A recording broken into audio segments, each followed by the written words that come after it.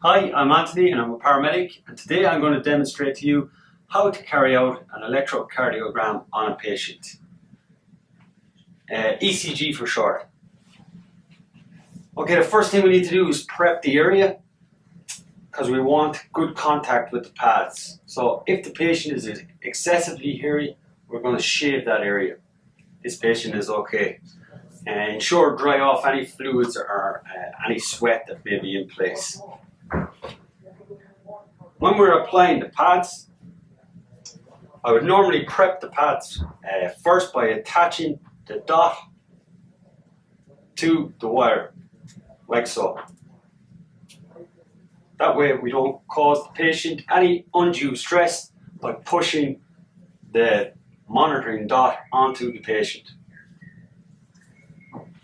When we're applying the leads, you can use the acronym from the right shoulder, ride your green bike to help you remember where to put the leads.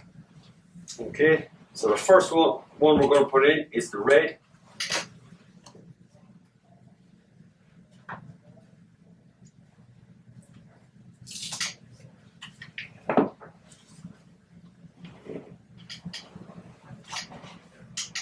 Placing it on the top right shoulder like so.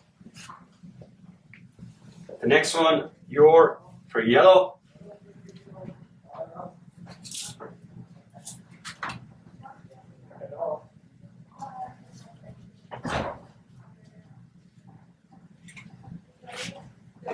Green is what it says on the tin, green.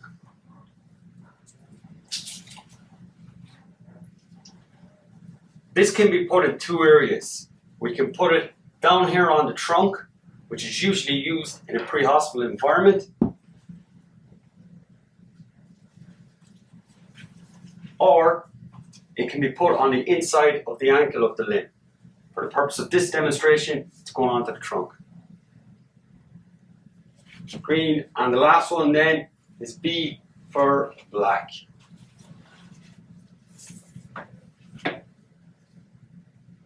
or as my acronym says, bike. Ride your green bike.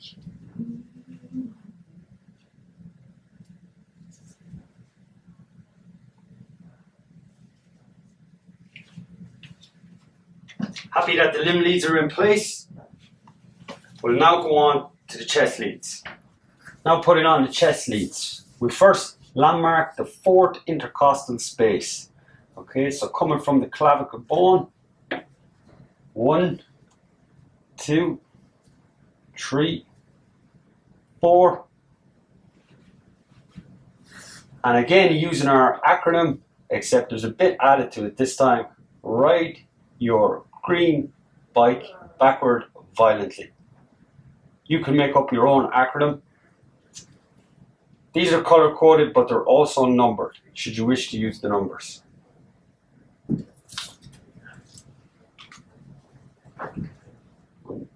Two, three, four. And the first pad goes to the right hand side of the central chest bone in that fourth intercostal space. The next is yellow.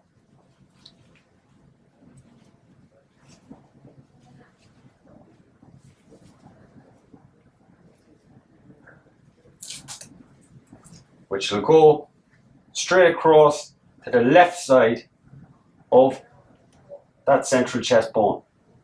Again on the fourth intercostal space.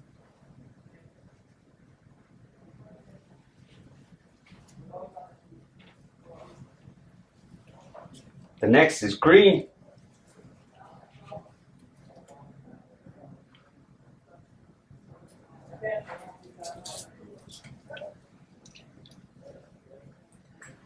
Which goes into the fifth intercostal space, which is just below the fourth, like so.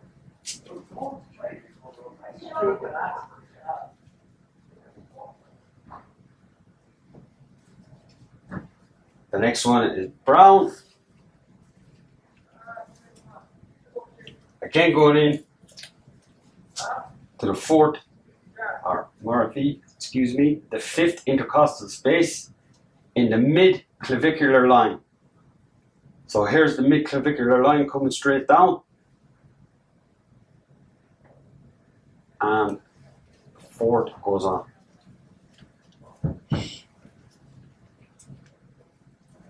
The next one is black, chest lead 5.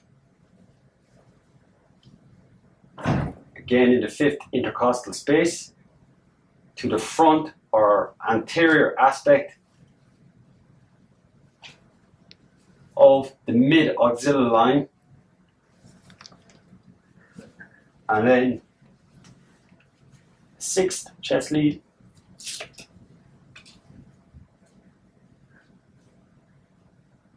is to the anterior aspect again, the front side of the mid axilla line, which is just below the armpit.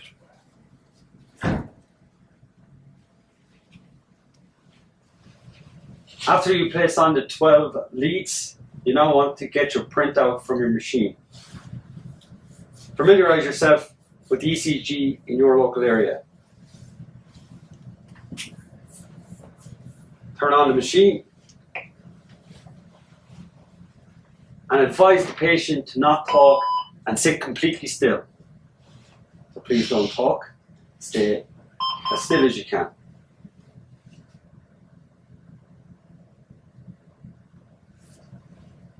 When you're happy,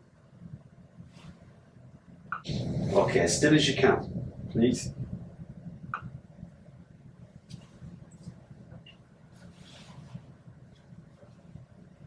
So the machine will monitor the patient heart rhythm and then we'll give you a printout of the ECG.